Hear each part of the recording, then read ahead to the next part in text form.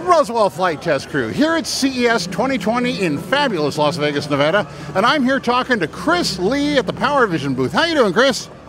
Great to see you, Patrick. Love your channel as well. Oh, thanks so much. Now, you guys have got a new product here at the show.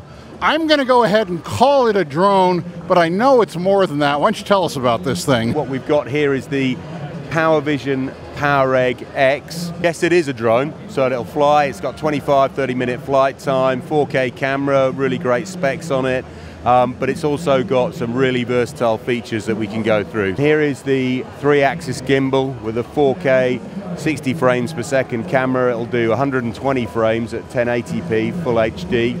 Um, and as I say, great flight time, collision avoidance, everything that you'd expect. So this can turn into this, which is a waterproof drone that will actually take off and land on water and it will also turn into this which is a fully featured AI camera that you can use on the ground to take great video. So if we look at how it works, we've got literally a case here, you remove this, and then you can just pop the legs off with a handle that you just literally attach here, slide that back on, and then you're ready to go with the handheld mode. I've flown this on water, I've thrown it flown it through rain.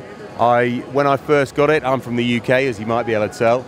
I took it out, I took it off uh, in some pretty typical British weather, pouring with rain, strong winds, went through trees, landed in a flooded river, and then came back out of the uh, tree. So really stable, and like I say, great flight time.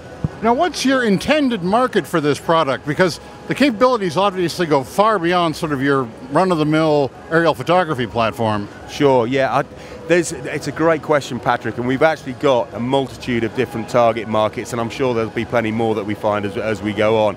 But firstly, we're looking at people who may not necessarily already have a drone, and may not necessarily think that they're going to fly all the time, in which case they want the camera functionality as well.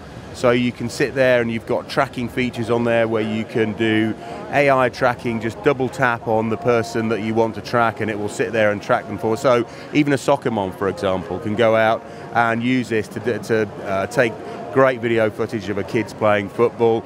Then we've got the drone enthusiasts, people like me and you, who um, would love to have the waterproof functionality and the ability to take off from water. Um, I mean, the specs are pretty awesome anyway, just from a drone perspective, but it's that added water functionality that really tips it over the edge and makes it a killer uh, feature. And then you've got the marine market, where people who are out in boats who want to take off from ribs or uh, yachts or, or whatever, and they want to take it off from the water so they don't endanger the people on the boat or they don't want to hit the rigging.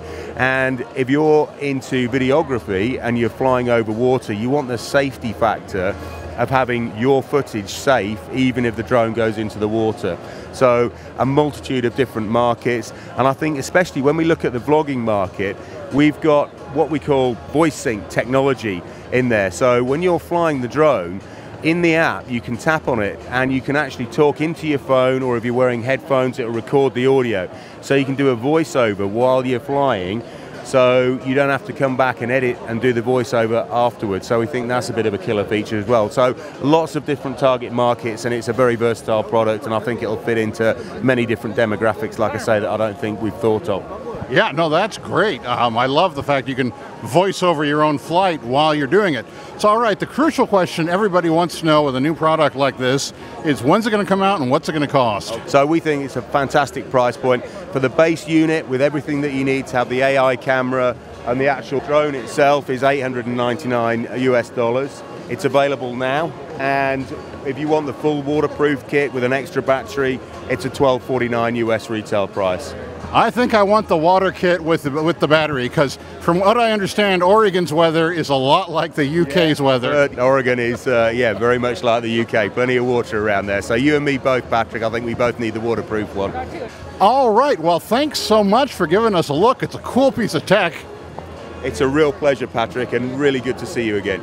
Absolutely. And from CES 2020 in fabulous Las Vegas, Nevada, this is the Roswell Flight Test Crew signing off. Thanks again, Chris. That's great. Appreciate it.